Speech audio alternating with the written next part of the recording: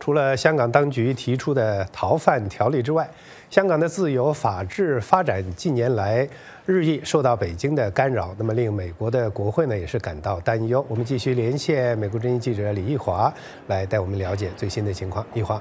好的，林森。那么刚刚的新闻连线当中，我们已经听到了，在星期三这场美国国会暨行政当局中国委员会所召开的这个香港问题的听证会结束之后呢，我们也有机会采访了这个委员会的两党的成员。那么国会议员也的确对于目前香港的民主自由发展的各个领域的这个发展呢，受到北京日益严重的这种干扰和侵蚀，是感到非常的担忧。那么就像稍早的这个访谈当中，也呃我们的记者提到的，国会呢将在下个星期最快有可能将在下个星期，参众两院就会提出有关于这个新的这个。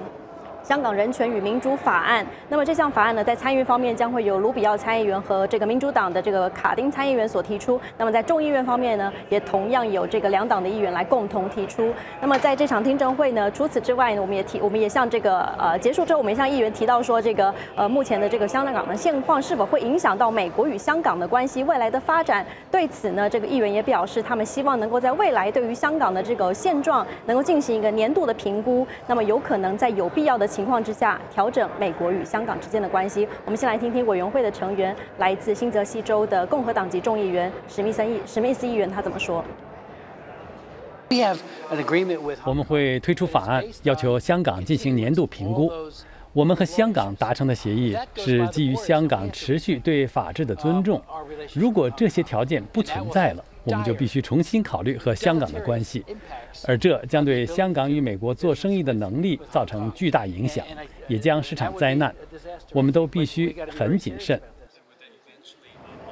那么在谈到香港现行的这个一国两制受到严重的影响之外呢，我们也向有机会向议员提出询问说，这个目前北京当局相当的这个极力推，希望能够推动一国两制的台湾版本的这个方案。那么对此呢，议员也表示，如果台湾选择了这个一国两制的台湾方案的话，那么目前很有可能在香港发生的事情，未来也有可能发生在台湾。因此，台湾人民应该要非常的谨慎小心。我们继续来听听中国委员这个美国国会暨行政当局中。中国委员会的两位共同主席，他们怎么说？